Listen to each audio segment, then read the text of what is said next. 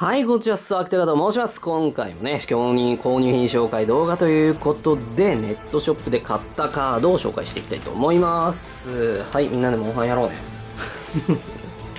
あの、かなり、今、モンハンにはまりまくってる、モンハンしかしてない状況ですから、カードから触るの久しぶりです。いやー、面白いよなー、ほんと。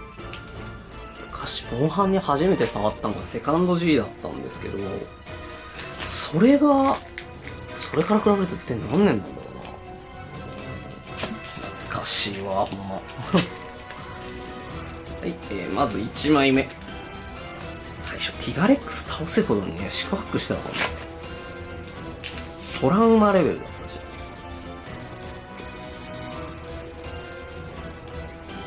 はい、えー、1枚目、こちら。テラフォーミング、ウルシクです。いやー、全然当たらなかったからな。結局シングルで、シングルで買うのが安定なんだよなーって話。まあ、えー、こいつは永遠にね、あのー、なんだろう、無制限になることはないんで、1枚持ってりゃいいでしょうっていう感じです。持ってて損はない。20シク出る出ると言ってたのに、結局ね、出なかったもんね。テラフォーミングね。なんでだろうね。はい、次。えー、こちら。ストライク。ソーラーエクスチェンジの光の援軍です。これ3枚ずつかな ?3 枚ずつですね。ひょい。これはまあまあまあ、あの、ライトロードはね、あの 定期的に作りたくなるデッキランキング、10年連続ナンバーワンである。僕、当社比というか、バクテカ調べですけど。で、このカード。まあ、全然足りないもの多いけどね。何が足りないんだっけ？そあー、そうか、ルミナス。ライトロードシャーマンルミナスが足りないんですよ。あれもなんか、あれ？え、でもなんか財布されてたっけ？されてなかったようなイメージしかないんだけどな。イラスト、ラストこれなんだっ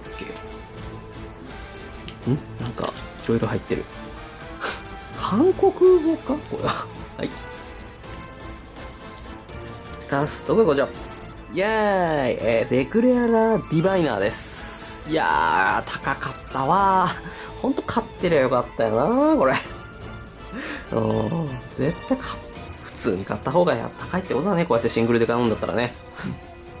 え、ディバイナーは、あの、最初ドレミコードでね、買おうかな、買おうかなと思ってた。使おうかな、使おうかなと思ってたんですけど、ちょっとまあ自分の中のモチベがちょっと消えてしまって、ドレミコードね。消えてしまって、えーでもまあまあまあまあまあ、持っといて損はなくねっていう話で。儀式これから、あー儀式は絶対これから強化来るじゃないですか。ですから、これは握っといて損はないんですよ。絶対行動するから。間違いなくこれからもっと高くなるんで。だからまあこれは握っといて損はないかなと思って、とりあえず買いました。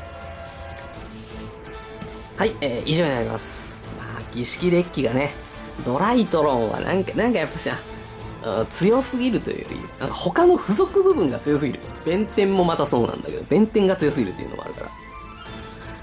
そこら辺をなしにしてくれる儀式デッキをね、なんか待ってるんですけどね。ネクロス復権しねえかな そこら辺ちょっと、うん、待ってます、コナミさん。ネクロスの復権を。いい加減トラップ出してください、ネクロスの。はい。ワクテガでした。また次の動画でお会いしましょう。バイバイ。